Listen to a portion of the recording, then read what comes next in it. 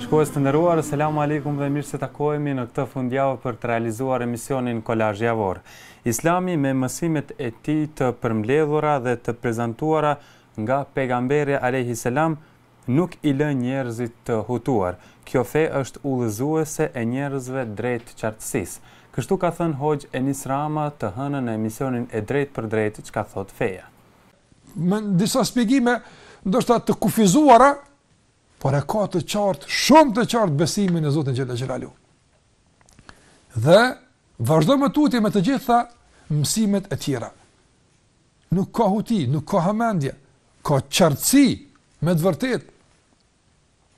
Nuk e len njeriun në humbje, që të bredh, por e udhëzon drejt stacionit të duhur, ku duhet ai të arrijë në stacion që nuk ka nevojë të lëvizë nga ai pastaj. Dhe kjo shumë rëndësi, është fe e udhëzimit. Prandaj, Çdokush i cili, çdokush i cili, lajthit në emër të islamit, devijon, në çfarëdo lloj devijimi, bredh, mbushet dilema, ky njeri nuk e ka njohur islamin, madje as nuk e ka, nuk e ka mësuar nga rrugët e duhura. Islami Është fe e udhëzimit, me kusht t'i qasemi rrugës së duhur, me kusht të trokasim në dyert e duhura, por në qoftë se njeriu nuk i qaset rrugës së duhur, nuk i qaset mësimeve, udhëzimeve të duhura, atëherë pa dyshim se në emër të islamit, në emër të ndjekjes së mësimeve të islamit, mund të devijon, mund të shkatërrohet, Mund të lajthit shumë keq, por nuk është fajtor për këtë islami. Fajtor për këtë është njeriu i cili nuk e ka përdor këtë fe si duhet. At, at udhëzusin e përdorimit të tij nuk e ka lexuar fare. Përmbajtja e çdo sureje, sado që juve t'ju duket nganjëherë ndoshta uh, jo e përshtatshme, po them kuptim njerëzor, mund të duket nganjëherë vështirë, mëshirë është. Mëshirë është për juve. Ngase mshira nuk është vetëm gjithmonë të lastohemi, gjithmonë të përkëdhelemi. Jo, mshira mund të jetë nganjëherë edhe e përcjellur me ndonjë ngarkesë për neve, por realisht është mshirë. Kur prindi e detyron fëmijën që të mëson, dhe nganjëherë këtë e bën edhe pak në mënyrë ma imponuese. E ka për qëllim ta reflekton urrejtjen ndaj tij, apo mshirën? Mshirën! E pse po s'po e len me flajt? Po le me flejt, bën rahmet për fëmin. Po jo pikrisht, në qoftë se e lë me flejt e kam dënu. Në qoftë se në qoftë se ngritet dhe vazhdon me mësu. Kjo është mëshira ndaj tij. Nganjëherë edhe prindi e dorëzon fëmin e tij në spital që të bëhet ndonjë intervenim kirurgjik, është i dhimshëm, është i vështirë. Mirpo, mirpo, mëshira është pikërisht në atë intervenim, e jo në të kundërtën. Të martën në emisionin Duke kërkuar përgjigjen ishte i ftuar Hoxh Alaudin Abazi. Ai u përgjigj disa pyetjeve të shikuesve që kishin shkruar ata në adresën e këtij emisioni. Le të ndjekim përmbledhjen nga emisioni Duke kërkuar përgjigjen.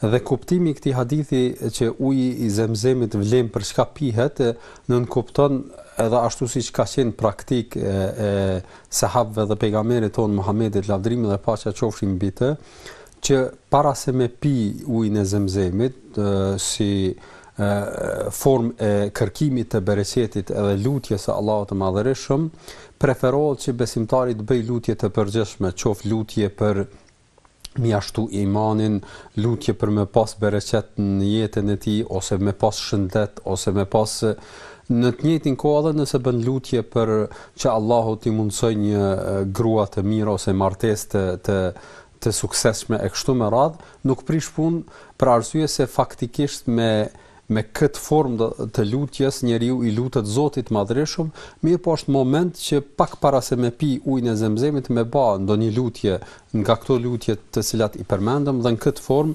ë mund po e them kushtimisht mund të jetë si bereqet i pirjes së atij uji mund të ndikojë edhe në pranimin e lutjes nga ana e Allahut të Madhërishëm, ashtu siç mund të aludojë edhe ky hadith i pejgamberit lavdërimi dhe paqja qofshin mbi të. Çështja e thirrjes së ezanit ka dy synime. Synimi i parë është paralajmërimi i kohës namazit, për njerëz që të dinë se është ka ardhur koha e drekës, po themi apo koha e ikindisë dhe njerëzit prezantojnë dhe e dyta është se është pjesë e ritualit të faljes së namazit. Ë mirëpo, kjo kjo formë do thotë apo kjo praktikë pra çështja e thirrjes së ezanit, ndoshta më shumë ndërlidhet me çështjen kur ajo falet me xhamat. dhe prandaj këtu është më më e domosdoshme dhe ka prej ulemave që kanë thënë edhe është obligativ. Megjithatë, prej gjërave që nuk duhet të neglizhojë besimtari, posaçërisht në namazet me xhamat, është që mos ta lë edhe thirrjen e ezanit. Lutjet mund të jenë dy forma, mund të lutet njeriu edhe me zemër, po për të qenë lutja më njeriu më e plotë dhe njeriu më afër Zotit është që atë t'i shqiptojë edhe me gojë edhe të jetë i qartë në atë që kërkon dhe të jetë shumë kërkues në një formë në atë që për të cilën i drejtohet Zotit të Madhërishëm. Prandaj nëse ai i ngrit duart, atëherë e drejta është për me qenë e kompletuar dhe më e përsosur dhe më e mirë lutja, atëherë ta bëjë atë edhe me me gjuhë, me gojë dhe nuk ka nevojë me me ba me za të lartë, me za që veten e, e dëgjon dhe në këtë formë t'i lutet Zotit është më e plotë, Zoti e di më së. Hoxhë Ismail Bardhoshi në emisionin Libri pranë jush ka folur për metodat e përmirësimit. Ai përmendi fjalët e Allahut që thotë në Kur'an se Allahu nuk do ta ndryshojë gjendjen e një populli përderisa ata nuk e ndryshojnë veten e tyre. Kurse Hoxhë Muhamet Dërmaku si zakonisht ka trajtuar problemet e shikuesve në emisionin Kam një problem. Këtë javë kishte ankesa edhe nga burrat që thonë se nuk përfillen si duhet nga gratë e tyre. Pejgamberët e Allahut të Lartësuar jo gjithnjë kanë qenë nga kanë qenë me pushtet. Ë ka pejgamberë të cilët janë vrarë. Ka pejgamberë që kanë jetuar gjithmonë, domethënë të përndjekur dhe në vujtje derisa ka derisa për shembull kanë vdekur, ose kanë bërë hixhret janë shpërngulur, ose siç është rasti i Isait alejhi salatu ves selam që është ngjitur në qiell. Pra Isai alejhi salatu ves selam asnjëherë nuk ka pas pushtet, ka qenë i përndjekur, ka vuajtur, është munduar, ma në fund tentuan çifutët që ta vrisnin, por Allahu i Lartësuar nuk ua mundësoi diçka të tillë, dhe Allahu subhanehu ve teala e ngriti atë në qiell. Ibrahimi alejhi salatu ves selam është hedhur në zjarr, vetëm se ftonte në besimin në një Zot të vetëm dhe ftonte njerëzit të braktisin idhujtarinë, është detyruar që të lëjë vendin e tij dhe të zhvendoset për në Sham.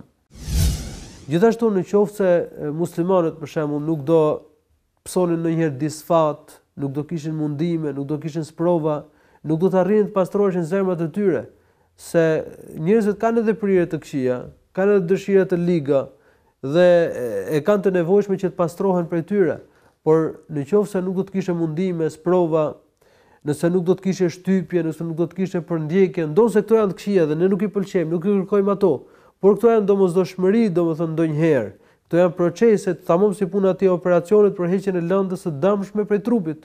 Edhe sprovat dhe vuajtjet janë ushtarë të Allahut, që i lëshon ndonjëherë Allahu subhanehu ve teala, qoftë edhe ndaj robërve të Tij të mirë, qoftë edhe ndaj besimtarëve, në mënyrë që të pastrohen nga dëshirat e këqija. Duhet që muslimanët të kthehen në fenë e Zotit. T'i kthehen besimit të pastër islam, të largohen nga besimet e kota, nga shirku, nga idetë dhe përfytyrimet e këqija të gabuara të cilat bien ndesh me besimin e pastër të bazuar në Kur'an dhe në Sunet ashtu siç e kuptuan të parët e këtij ymmeti. Duhet që muslimanët ta kryejnë ibadetin, t'i kryejnë ritet fetare, namazin, agjërimin, haxhin, ashtu sikurse i kryente i Dërguari i Allahut Muhamedi alejhi salatu ve selam. Duhet që muslimanët të shndërrohen në Kur'an që ecën në tokë, të adaptojnë mësimet e Kur'anit, ligjet e Kur'anit fisnik, rregullat, normat e sjelljes dhe të moralit të lartë për të cilat flet Kur'ani i Madhërueshëm. Në qoftë se muslimanët do ta bëjnë këtë gjë, Atëherë Allahu i Lartësuar ka për t'i mëkëmbur ata në tokë. Pra një burrë tash ankohet në gruan e tij se dëgjueshmërinë nuk e ka në nivel.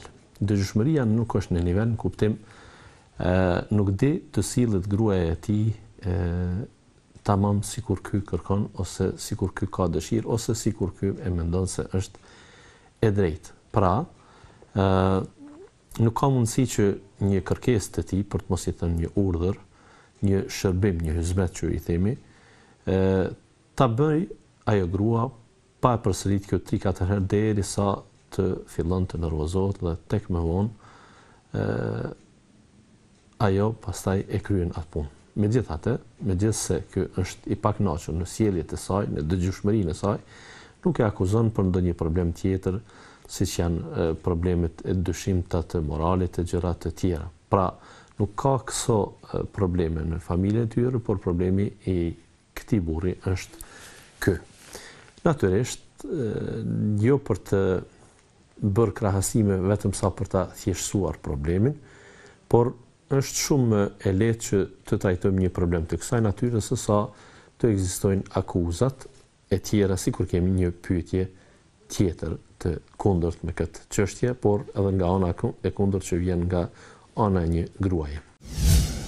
Në rregull nëse nuk je ndonjë kuzhinier i mirë dhe ndoshta një ushqim ti që mundesh me bë, vetë ti nuk je në gjendje me ngrënë. Në rregull. Por servimi i atij ushqimi pastaj nuk është filozofi e rëndë. Është mirë që ta keni parasysh se bartja e enëve prej kuzhinës deri në tavolinën e bukës deri në sofër dhe anasjelltas, pra largimi i enëve, mbledhja e tyre, nëse jo edhe për t'i pastruar, për t'i larë, atëherë të paktën t'i tuboni dhe t'i leni të gatshme ndihma të tilla. Bartja e ujit, sjellja e bukës, prerja e bukës, angazhimi për të shiku se kush është me bukë e kush pa bukë para vetes në sofër, detyra që nuk janë të vështira këto për mashkullin. Andaj nuk duhet të bëhet aq parazit saqë shumë shpesh dëgjojmë për raste kur një burrë është në gjendje të thotë unë jam në gjendje të agjëroj tërë ditën edhe nëse kam tërë ushqimin në kuzhinë nuk jam në gjendje që ta bart deri në sofër. Është lehtë për të treguar atë aspektin mashkullor burrëror e tash do ta them të vrazhdë dhe hiç etik, aspak fetar dhe nën frymë profetike të Muhamedit sallallahu alejhi ve selem, pra nuk është ky udhëzim i tillë islam, ai mundohet që të tregojë një epërsi, të këtillë dhe për të treguar se unë jam burrë dhe në shtëpi unë i bëj këto punë apo ato punë. Fjala më e mirë që ekziston që është dëshmia se nuk ka zot që meriton të adhurohet përveç Allahut është keqkuptuar dhe keqinterpretuar shumë herë. Andaj, siç thotë Hoxhë Agim Bekiri, Sqarimi i kësaj fjale është shumë i rëndësishëm. Kjo ishte njëkohësisht edhe tema që trajtoi Hoxha në emisionin Fjala e Bukur. La ilahe illallah është e përbërë prej katër fjalëve. La, domethënë s'ka, është pjesëz mohuese që mohon gjithçka. Ilah do të thotë i adhuruar. I adhuruar. Mund ta përkthejmë në gjuhën shqipe edhe, domethënë në gjuhën shqipe edhe si hyjni. Illa është pjesëz përjashtuese, që do të thonë përpos ose përveç. Allah është emri i krijuesit. Pra, fjala la ilahe illallah detyrimisht paramendohet me një fjalë të pestë që është fjala bi haqqin, do të thonë la ilahe bi haqqin illallah. Nuk ka të adhuruar me të drejtë përpos Allahut. Nuk ka të adhuruar me të drejtë përpos Allahut. Më thënë, këto fjalë, përveç që është një mrekulli, më thënë, vetë fjala në vete, sepse është, më thënë, një, një, një fjali e shkurtër që tregon për qëllimin e ekzistimit, për vlerën e madhe, për shpërblimin, për kush, parakushtin, se ajo është parakusht për t'u pranuar veprat e mira, kjo vetë fjalët, shkronjat e zgjedhura për të formuluar, më thonë kjo fjalë që është çelësi i xhenetit, siç ka thënë Wahb ibn Munebbihi, është çelësi i xhenetit, me këtë fjalë hyhet në xhenet, pa këtë fjalë nuk ka mundësi që të hyhet në çdo pejgamber ka thirrë në këtë fjalë, njeriu i parë e ka thënë këtë fjalë Ademi alayhis salam, para se para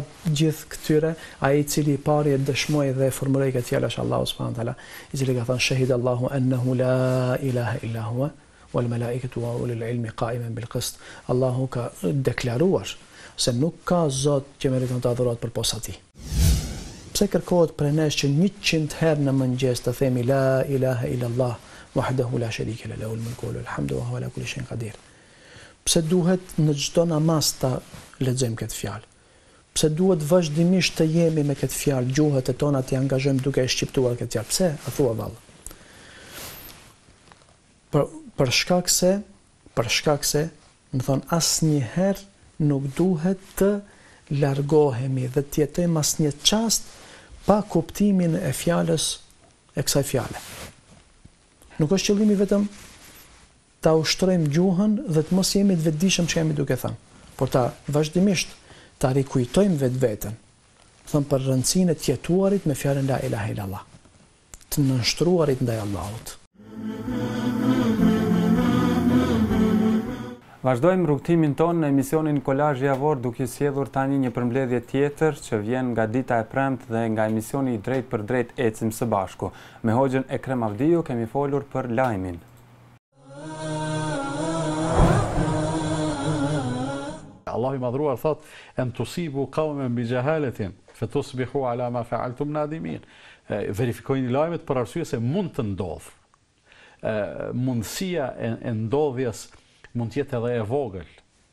ose mund të jetë e madhe, kjo fare pak ka rëndësi, por deri sa mund të ndodhë, atëherë është mirë që ne ta, ta mënjanojmë mundësinë e ndodhjes. Mund të ndodhë që ju dikend, dikend ta, ta lëndoni, dikend ta ofendoni, dikend ta dëmtoni, duke mos e ditë, e pastaj kur ta kuptoni se se i keni bë keq atij njeriu ose atyre njerëzve, ju do të do të ndaheni të penduar, do t'ju vijë keq pse keni vepruar ashtu. E kjo keqardhje është si produkt ose pasojë e mosverifikimit të lajmit në fillim.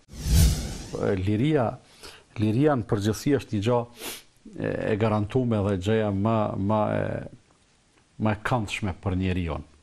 Dhe këtë njeriu ka mundësi ta ta vërtetojë, pra sa është e rëndësishme liria, vetëm atëherë kur i mungon ajo. Megjithatë, ne do të duhej të bënim dallim në mes lirisë dhe anarkisë.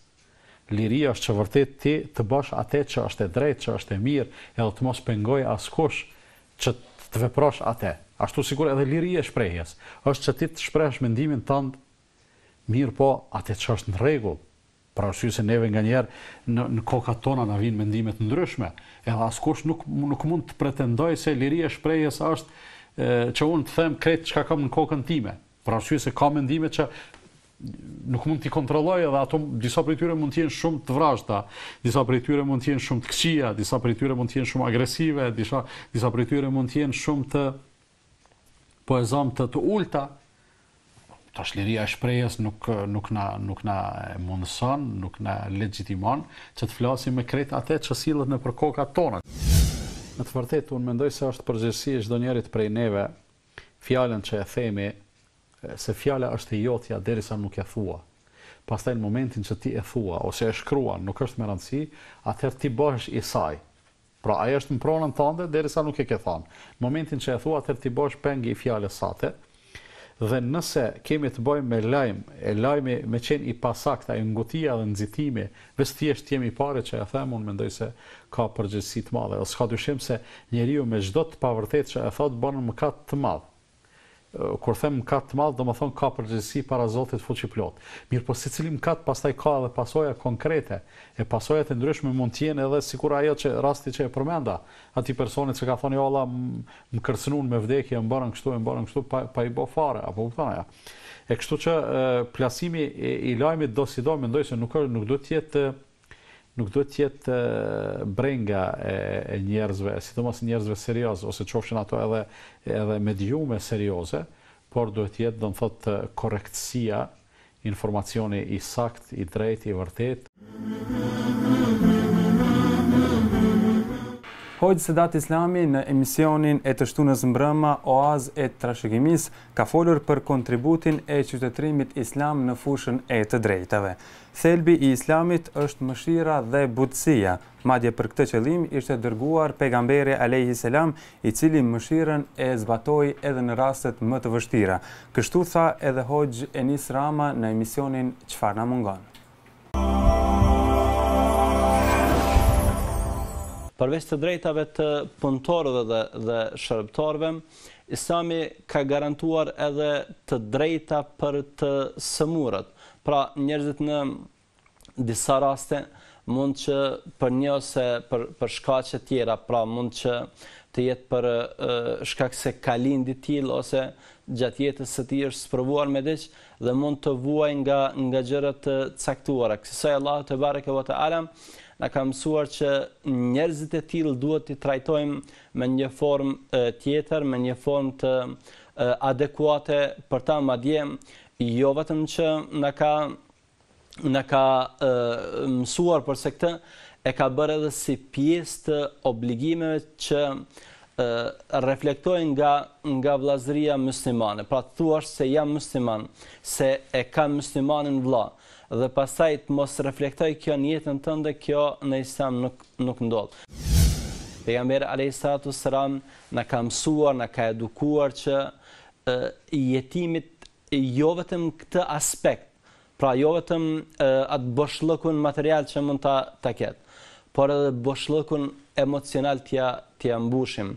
Pra mungesa e prindit, mungesa e e e atij që do ta forconte për për jetë për rrugën e jetës, pejgamberi alayhi salatu wasalam na ka mësuar që e, këtë boshllëk T'ia mbushim duke ledhatuar kokën e tij, duke edukuar atë, duke u kujdesur për edukimin e tij dhe kësisoj nëse ne marrim këtë këtë detyrë, atëherë pejgamberi alejhi salatu ves selam ka premtuar se ë ai do të rezervojë një vend të veçantë në xhenet për ne, thot pejgamberi alejhi salatu ves selam, Unë dhe ai që kujdeset për për jetimin, ke hatein, duke aluduar në këta dy gishta, pra do të jemi në xhennet afër qysh ashtu siç janë afër këta dy dy gishtenj.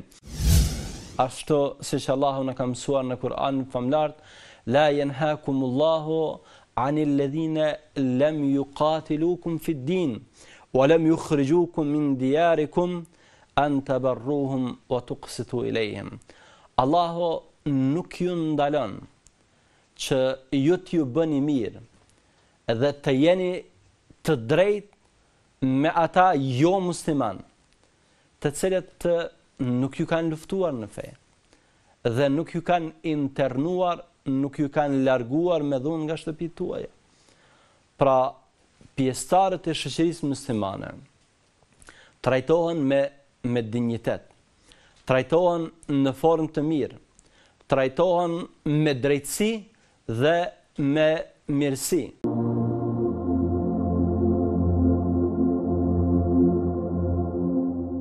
Me një mesatare, nuk e dim saksisht, po po them me një mesatare.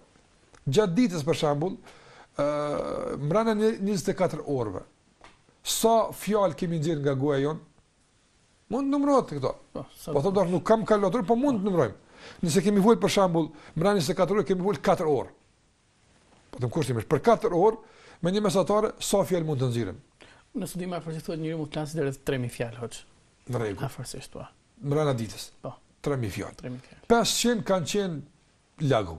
Po them 2500 kanë qenë ekstra. Jerut, 500 kanë qenë lagv. Mhm. Që i bie vëlla i nderuar,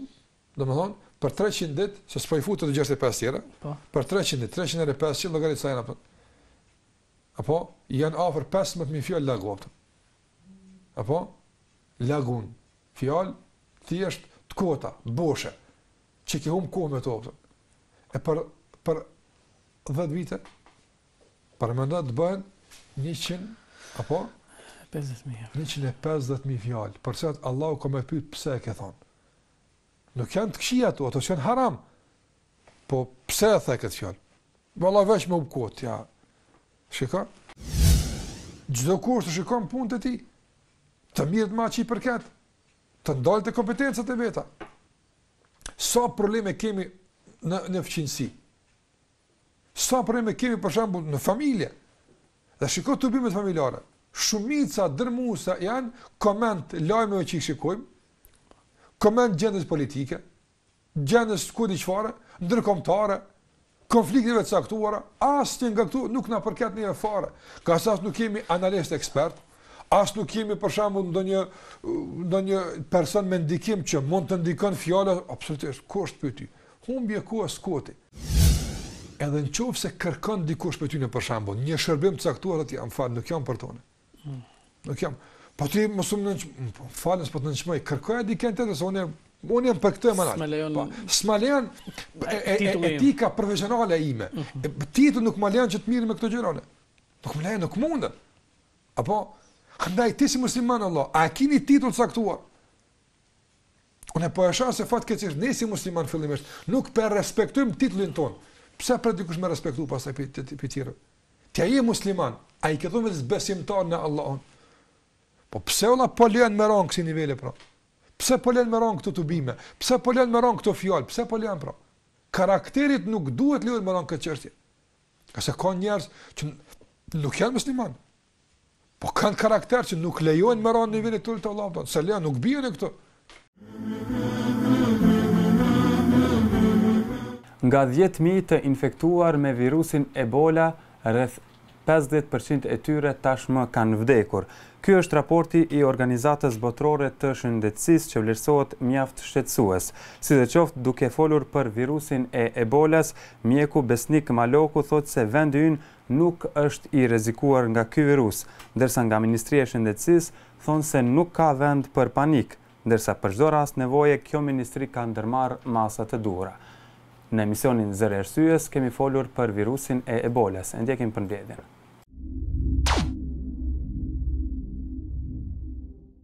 Kjo sëmundje kryesisht i atakon njerëzit dhe disa lloje të kafshëve të egra. dhe njihet si epidemi që ka shpërthy, domethënë njëra prej epidemive më të mëdha virale që ka shpërthy në, në disa zona rurale të thella dhe tropikale të, të Afrikës qendrore dhe perëndimore, konkretisht në, në, në Sudanin verior dhe në Zairin verior në, në ish Republikën e Kongos. Sëmundja e Ebolas është e ngjashme dhe ka fillim të ngjashëm me shumicën e sëmundjeve virale. Madje madje Ebola është mjaft e vështirë të dallohet nga malaria, nga ethet e tifos, nga kolera, nga ethet tjera hemoragjike, madje madje edhe nga ndonjë grip sezonal, ngase kanë simptomatologji të njëjtë dhe pasqyrë të njëjtë klinike dhe mënyrën se si fillon sëmundja.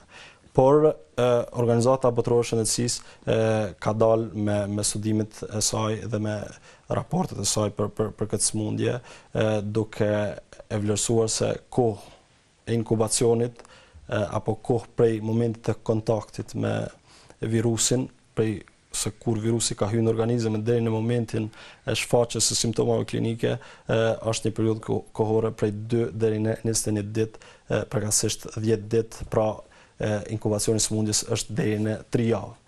Dhe pas kësaj kohe, nëse personi ka marrë infeksionin, atëherë sëmundja ka fillim të vrullshëm dhe të shpejtë, prandaj quhet si sëmundje virale akute, ngase fillon shpejt.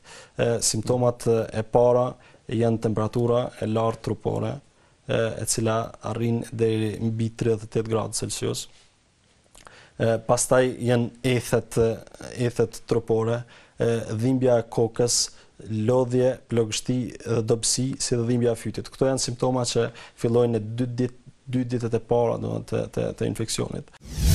Patjetër, patjetër, ne duhet të jemi të qetë, vendi jonë mendoj që është i sigurt dhe nuk ka nuk ka hapësirë për panik, për shqetësim tek tek qytetarët me tash ne morëm informacione edhe nga Instituti i Shëndetësisë Publike të Kosovës, ata i kanë marrë masat e nevojshme parandaluese, kështu që nuk ka asnjë asnjë vend për për shqetësim dhe për panik. Të nderuar teleshikues, me këtë përmbledhje kemi arritur në fund të emisionit të sotëm Kolazh Javor. Faleminderit që na ndoqët, mirupafshim emisioneve të tjera. Selam alejkum.